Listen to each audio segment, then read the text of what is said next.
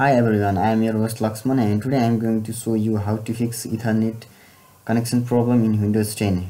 If your Windows is showing identifying network or it is showing like this sign, this sign, um, either your cable is connected properly.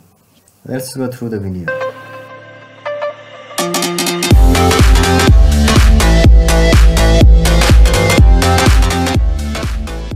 You need to go to control panel.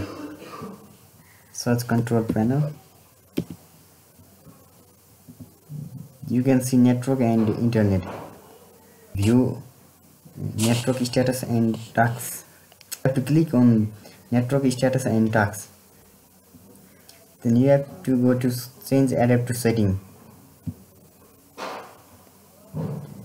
You can see go to properties of ethernet and go to config and you can see advanced setting in the top. Then go to speed and duplex. Uh, you can see the speed. You have to change this to 10 half or 10 full duplex. I'll try 10 half duplex. Okay then you can see in the yeah it is connected. Now if you change this setting again to 100 mbps then this will be changed you can see. Now it is connected. I'll click ok then it will go.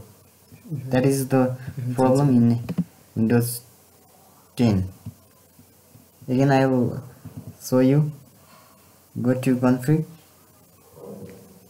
go to advance go to speed duplex and go to half I'll try this time full duplex 10 and click OK. Yeah it is working you can see. Thanks for watching and don't forget to subscribe our channel.